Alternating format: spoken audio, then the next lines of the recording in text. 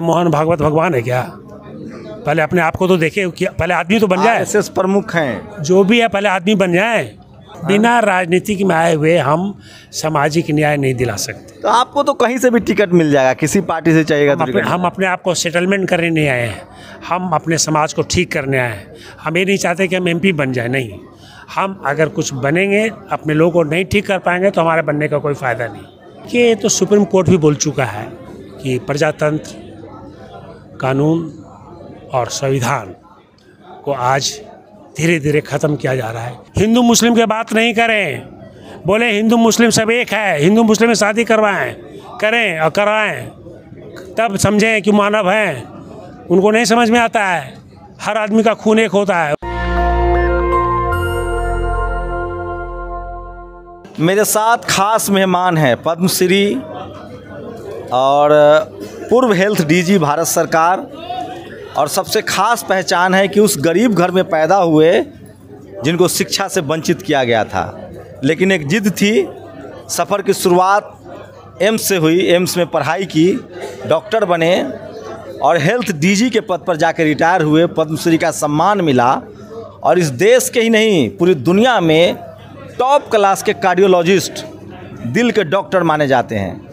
लेकिन अपनी social responsibility सामाजिक ज़िम्मेदारी को निभाते हुए डॉक्टर जगदीश प्रसाद ने आज सामाजिक न्याय गरीबों को उसका अधिकार मिले इसके लिए एक नया बीरा उठाया है नई ज़िम्मेदारी ली है और एक पार्टी का उन्होंने गठन किया है। अ, सर बताइए विस्तार से कि इस पार्टी का एजेंडा क्या होगा और क्यों ज़रूरत पड़ी नई पार्टी की? इसलिए कि पचहत्तर साल में जितनी भी पार्टियाँ आई आज तक हमारे समाज को जो गरीब है, गरीब लोग हैं, चाहे वो शेड्यूल कास्ट हो शेड्यूल ट्राइब हो, बैकवर्ड हो या कोई भी कास्ट हो, उनके ऊपर ध्यान नहीं दिया गया और ख़ास करके उनकी शिक्षा को निगलेक्ट किया गया। और शिक्षा के निगलेक्ट निगलेक्ट के कारण ऐसा हुआ कि बच्चे, गरीब के बच्चे गरीबी रह गए, चूँकि उनके पास ना कोई खेती बाड़ी था, ना कोई संपत्ति था बाप दादा का। तो पिताजी मजदूरी करते हैं, वो भी मजदूरी बन गए। क्योंकि टेंथ पास ट्वेल्थ पास का तो कोई नौकरी मिलता नहीं। और आजकल तो जानते हैं आप कि क्लास थ्री क्लास फोर का नौकरी को ख़त्म कर दिया गया है। तो संविदा पर लिया गया संविदा पर क्या पैसा मिलता है? तो ऐसे बच्चों ऐसे लोगों को एक सभी को अच्छी एक ही तरह का शिक्षा मिले ये मेरी पहली इच्छा है। और अ, मतलब एजुकेशन पर ज़ोर रहेगा आपका? नौकरी एजुकेशन? जब तक देखिए आर्थिक सुधार नहीं होगा तो सामाजिक सुधार भी नहीं होगा। आप किसी भी कास्ट के हों आप करोड़पति कहलाइएगा ना तो आपके पास सब सब लोग कहने को जो स्वर्ण जाति है वो भी आके आपका पैर छुएगा और आपके यहाँ चपरासी का भी काम कर लेगा। तो संसाधन का मतलब लड़ाई संसाधन की है। संसाधन की है डाइवर्सिटी की है।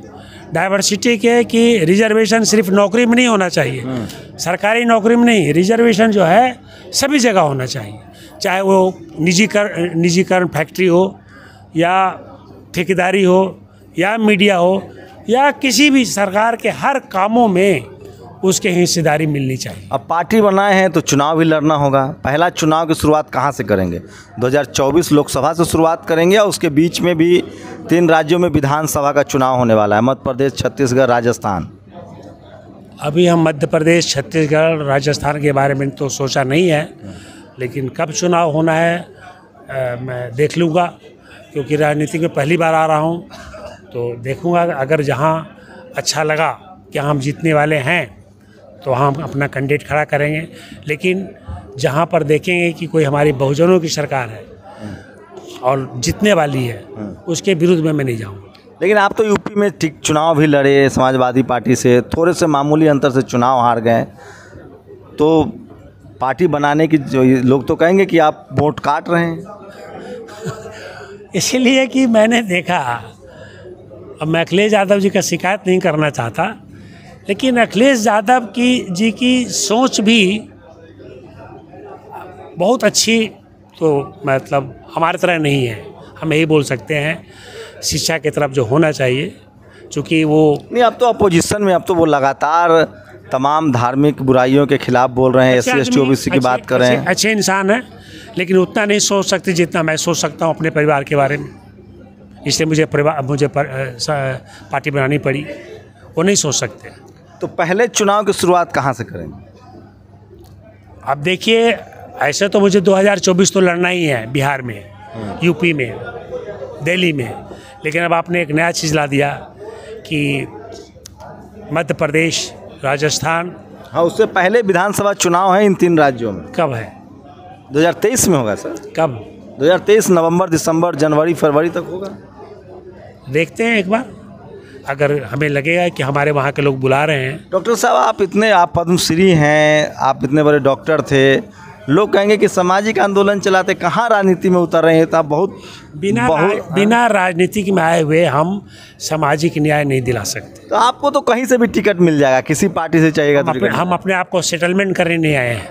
हम अपने समाज को ठीक करने आए हैं। हम ये नहीं चाहते कि हम एमपी बन जाए नहीं।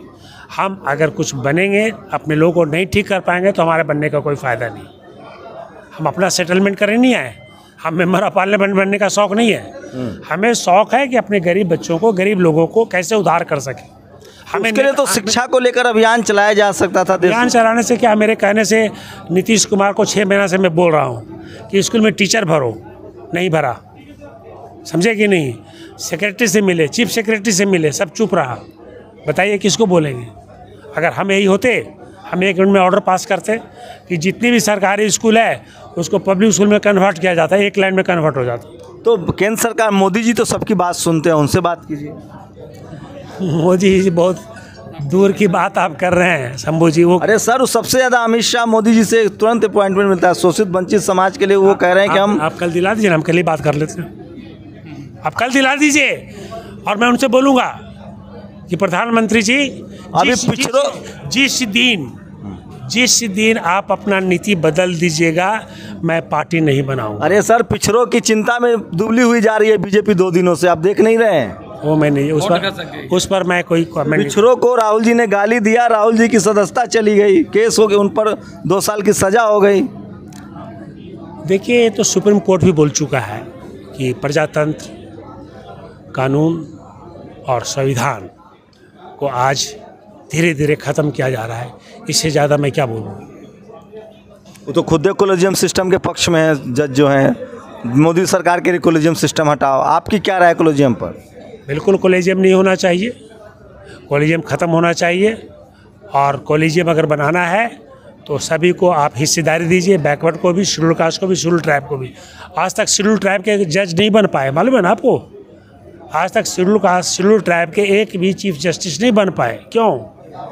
पूछिए कॉलेजियम से क्या ट्राइब में पढ़े लिखे लोग नहीं होते हैं क्या? मैं इसीलिए तो कह रहा हूँ आप इतने इंटेलेक्चुअल थे पढ़े लिखे थे आप तो समाज को दूसरे तरह से दिशा देते तभी तो पॉलिटिक्स करने आए हैं क्योंकि इन लोग अब देखे नहीं केजरीवाल जी कैसे हमारे लोगों को मूर्ख बना रहे हैं। हमारे जो बीजेपी के नेता लोग हैं कैसे मूर्ख बनाया कि पंद्रह लाख रुपया दे देंगे वोट दे दो। हम दो दो करोड़ नौकरी दे देंगे वोट हमें दे दो। अस्सी लाख अस्सी करोड़ लोगों को पाँच किलो राशन मिल रहा है मुफ़्त का। वो भिखमंगा बना दिया लोगों को। उनके मानसिकता को ख़त्म कर दिया। इसलिए और सरकार से मुझे नफरत है कि हमारे लोगों को भिखमंगा बना रहे हो। नौकरी दो मनरेगा में काम दो। मोहन भागवत ने कहा है कि हम आपको घोड़ी भी चढ़ने देंगे जलाभिषेक भी करने देंगे और आपके साथ चाय भी पियेंगे। और क्या चाहिए बहुजनों को? क्या मोहन भागवत भगवान है क्या? पहले अपने आप को तो देखे पहले आदमी तो बन जाए। आरएसएस प्रमुख हैं। जो भी है पहले आदमी बन जाए। वेटनरी के डॉक्टर रहे हैं। अरे आदमी बन जाए अच्छे मानव बन जाए। हिंदू मुस्लिम की बात नहीं करें। बोले हिंदू मुस्लिम सब एक है हिंदू मुस्लिम में शादी करवाएँ करें और कराएँ। तब समझें कि मानव हैं। उनको नहीं समझ में आता है। हर आदमी का खून एक होता है उनको नहीं मालूम। रिजर्वेशन को लेकर क्या राय है आपकी? रिजर्वेशन हर जगह होना चाहिए। प्राइवेट में गवर्नमेंट में ठेकेदारी में मीडिया में हर जगह रिजर्वेशन होना चाहिए। जब तक ये नहीं मिलेगा जब तक नहीं होगा। लेकिन आर आप एजुकेट कर दीजिए हमारे लोगों को। हमारे लोग को तकलीफ़ होती है माँ के पेट से। हमारे लोग, जब माँ के पेट में मैं रहता हूँ, मेरी माँ को अच्छा खाना नहीं मिलता।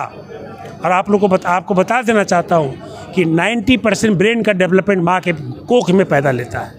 तो हमारे लोग कैसे आगे बढ़ पाएँगे? ये बताइए आप। ये बताइए आप। कभी सोचेगा ज़रूर जिनसे हम बात कर रहे हैं वो देश के नहीं पूरी दुनिया में मशहूर बड़े कार्डियोलॉजिस्ट हैं जिन्होंने एम्स से पढ़ाई की सफदरजंग अस्पताल को नया रूप दिया। पद्मश्री रहे हेल्थ डीजी। भारत सरकार में जो स्वास्थ्य मंत्रालय में सबसे बड़ा पद होता है वहाँ रहे। डाइवर्सिटी को लागू किया रिज़र्व कैटेगरी के आने वाले लोगों डॉक्टरों को बड़े बड़े पद दिए और इसकी वजह से इनको सरकार का कोपभाजन भी बनना पड़ा। अब राजनीतिक मैदान में उतरे हैं। मेरी लगातार कोशिश है कि इस देश का S C S T O B C जो पढ़ा लिखा तबका है, जिसके कंधे पर बाबा साहब ने दोहरी ज़िम्मेदारी दी है पे बैक टू सोसाइटी वो जब तक राजनीति में नहीं आएगा। और ये मत कहिए, ये सब दिमाग में मत लाइए कि राजनीति बहुत मुश्किल है। इस देश में चाहे वो मान्यवर कांसी राम साहब हों, चाहे मुलायम सिंह यादव हो, चाहे लालू यादव हो, चाहे शिबू सोरेन हो चाहे जगदेव बाबू, इन लोगों ने बड़ी लकीर खींची है। गरीब घर में पैदा हुए। उनके अंदर एक जज्बा था, उन्होंने राजनीति की बड़ी लड़ाई लड़ी है। अपने सफलता भी प्राप्त की है। डॉक्टर जगदीश प्रसाद के साथ तो एक बड़ी लेजेसी भी है। हाईली एजुकेटेड है, पेशे से डॉक्टर थे। अब समाज को, समाज में जो गैर बराबरी है, जो शोषण है उसका इलाज करने के लिए राजनीतिक दल का इन्होंने गठन किया है। संवैधानिक दौर में सबको अधिकार है अपनी पार्टी चलाए और अपने विचारों का आचार प्रचार करे। आप लोग अपनी प्रतिक्रिया ज़रूर दीजिए इस वीडियो के बारे में कि आपकी क्या राय है। शुक्रिया सर हमें समय देने के लिए और हमसे बातचीत करने के लिए। धन्यवाद धन्यवाद। शंभू कुमार सिंह नेशनल दस्तक दिल्ली। नेशनल दस्तक की आपसे गुजारिश है कि अगर इसको बचाना चाहते हैं तो नेशनल दस्तक को सब्सक्राइब करने के लिए रेड कलर के सब्सक्राइब बटन को दबाएँ। फिर बेल आइकन की घंटी दबाएँ। नेशनल दस्तक को बचाने के लिए बहुत ज़रूरी है कि हर खबर को शेयर करें, लाइक करें, कमेंट ज़रूर करें।